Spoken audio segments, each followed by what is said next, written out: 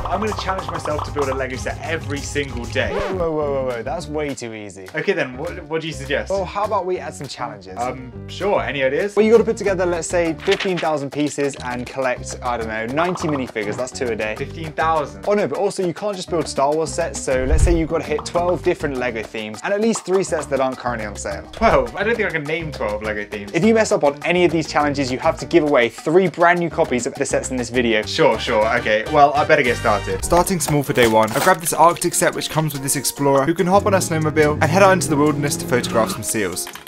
On day two, I picked up this Harry Potter set. Now, I don't build many Harry Potter sets, but this came together really nicely and was a really fun build. You have an underwater section with Ron and Hermione in chains, and an upper podium where Harry can dive in and rescue Ron, and Viktor Krum can attempt to do the same with his shark transformation. Returning to my favourite theme for day three, I built an even bigger set, the Death Star Trash Compactor Diorama. Now, this one had a ton of tiling. The first half of the build was pretty much entirely these flat tiles. You then build the back wall, as well as the two sides that come together, to flatten the main cast. From one Harrison Ford character to another, I spend the next few days building Indiana Jones sets, starting with this tomb set on day 4, this fighter plane chase set on day 5 which comes with this small car and this awesome World War II plane which I've got to say is pretty epic, and finishing with the big diorama from the Raiders of the Lost Ark. I've got to say across the board LEGO smashed it with these Indiana Jones sets, but that diorama is just majestic. Oh my goodness, so I was about to fall asleep and I suddenly remembered I haven't built a LEGO set yet. I have about 15 minutes or so till midnight, so yeah, let's go crack open a small one and get it built so we don't fail this challenge. I grabbed the small X-Wing poly bag and I was actually surprised with how good this came together, and most importantly it means we haven't failed Yes, just yet. Using a new force building technique that I learned on day 8, I built this 501st battle pack, and whilst this one is cool, it will never be as good as its predecessor.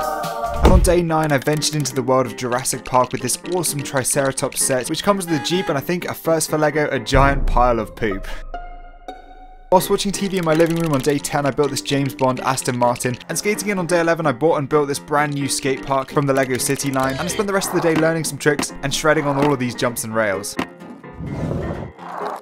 Now I've been spending a lot of money on sets so far, so I decided to build a free set on day 12, which was this gift with purchase Lego Moving Truck. This is an awesome set, you can fit a ton of different art and musical instruments and other bits in the back, and I think it's perfect for any Lego city. And then on day 13 I thought I'd do something different, so I grabbed this small Land Rover set, hopped in my Land Rover and drove somewhere cool to find the best place to build this. We pulled up in this field with this pretty decent view, and I quickly built up this tiny little set. Now I absolutely love Land Rovers, so this set was perfect for me. And so of course it was only fitting on the next day to build this Lamborghini set in my Lego room. Yeah, that's right, I can't afford a Lamborghini after I spend so much money on videos like this, but we built this cool set and I definitely can't complain. Speed Champions are some of the best Lego sets. With two weeks done now, we are just under halfway done with the challenge, but we've only just hit 5,000 pieces, so we're going to have to up our game a little bit and grab some bigger sets for the second half. And also, we're nowhere near hitting our minifigure goal, so it's time to start grinding. At the end of the second week and the start of the third, I headed into the world of one of my favourite franchises, Avatar, building all of the sets from the first movie, starting with the Banshee flight on day 15, the mech set on day 16, followed by the mountain base on day 17, and the giant tree of souls to wrap it up on day 18. For me, these sets do it all. They have fantastic minifigs, unique builds with awesome techniques and different styles. I can't wait to use these minifigures in an up and coming video where I'm going to build a giant battle from Avatar and many other movies. So subscribe so you don't miss out on that video when it drops. I would say if you just have to buy one of these Avatar 1 sets, I would go with the Banshee Chase or the Mountain Base. These are both really awesome and iconic scenes from the first Avatar movie. But easing my way back into the Star Wars theme on day 19 with this small Star Wars Mandalorian battle pack. Fun fact, this was actually the set that got me back into LEGO, so it's kind of a historic one. However, on day 20, I was already missing the Avatar theme and decided to build this Skimwing set. I can't wait to build more from Avatar 2. Now, I didn't want to just build sets that are on shelves at the moment, so I decided to grab this General Grievous Starfighter, which I've had sealed for ages and has really risen in price since it retired. So as soon as I break this seal, it's going to lose a ton of value, but I've got to do it. And honestly, it was a really, really enjoyable build. I've been waiting on this one for ages, and I'm so glad I finally built it. Now, Airborne Trooper alone is worth it, and you can't go wrong with a General Grievous minifigure. Although with this custom cape, you can take him to the next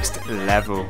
Fancying a bit more dinosaur action on day 22, I built this small Jurassic World set. You get the iconic Velociraptor Blue and her baby, and a cool truck as well. Following this, a theme I got really obsessed with last year was the Minecraft theme, and so for day 23 I had to crack open one of the newest sets, this End Arena set, where you can battle against another player and even drop them into lava. I pulled out another retired set for day 24, which is this Pasaana Speeder Chase. As much as I don't like the sequels, this one was actually a fun build and surprised me a little bit. As long as you forget about the inclusion of Rey, the First Order Stormtroopers are pretty cool. And I've got to say I particularly like this little sand blue speeder. And yep, you guessed it, we're back to Avatar on day 25. This is the Payakan set which comes with this small crab droid with the soldier piloting it, and of course the giant Tulkun himself, Payakan. He comes together nicely and can be posed on this piece of coral with a couple of little passengers clinging onto his fins for dear life. This along with most of the Avatar sets is super underrated in my opinion and I really do think they're all well worth their money. On day 26 I realised it was enough messing around with the smaller sets. If I wanted to hit the piece count and minifigure goals I'd have to crack open a big boy. So for this I grabbed the Marvel Sanctum Sanctorum. It's a set I've wanted to build forever and it was magnificent. The modular buildings are a great line of sets and this just intertwines perfectly with the superheroes. So much so that it's not officially a modular but I would say it's probably one of the best modulars I've ever built personally. The angles to make the cool corner building looks fantastic. The colours really complement each other. Oh, and did I mention it comes with nine minifigures that you can set up a giant battle with? What more could you want? After such a big build on the day before, on day 27, I didn't have much time, so I built this small Batman poly bag. And sticking with the DC Batman theme, on day 28, I built the Batman tumbler. I'm not gonna lie, after finishing that tumbler, it may be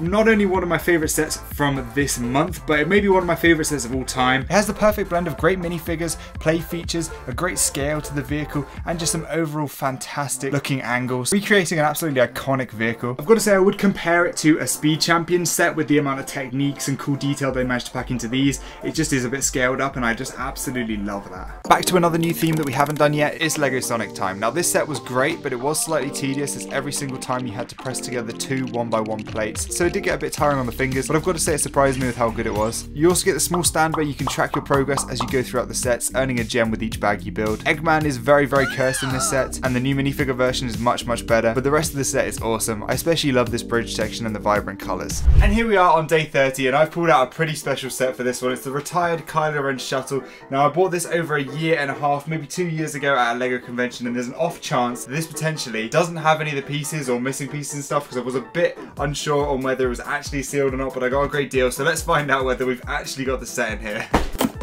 Okay, so it turns out I think I was worrying about nothing, so let's get building. As far as Star Wars vehicles go, they can be kind of repetitive, but this one really shone out to me. I think there was not a moment in this build that I felt bored, even though I had to recreate the same wing twice, and there was a lot of Technic in the center, which I don't particularly like, but otherwise it came together to make a phenomenal looking set. You can arch the wings in and out, and I think it was a great way to wrap up this 30 day challenge. So let's take a look at all the different sets we managed to build during this challenge, and whether we managed to achieve all of our goals. So first let's summarize. We built 9 cars or land vehicles, 2 air vehicles, 2 mechs, 6 space vehicles, and an absolute ton of different animals in all different shapes and sizes. But how do we get on in the challenges? Well if you saw the piece counter going up throughout the video, you'll know we hit the 15,000 goal with the Sonic set, and with that and the Kylo Ren shuttle it took us to over 16,500 pieces. Minifigure wise, the goal was 90 and we hit this with just one minifigure to spare, coming in at 91 total, and I've got to say it's such a cool variety of minifigures here. And speaking of variety, we managed to get a total of 13 LEGO themes, and of course we didn't miss a single day, which means we succeeded in all of our challenges. And this jumble pile you see is every single set we built from the 30 days, apart from two. Can you name which ones aren't featured in this end screen here? If you can guess, let me know in the comments. This was a heck of a grind, so please subscribe. We're trying to get to 100,000 subscribers, and we're getting pretty close now. But if you enjoy these time challenges, I built a LEGO city in a week the other day, so if you haven't seen that, you might enjoy that one, and I'll see you over there.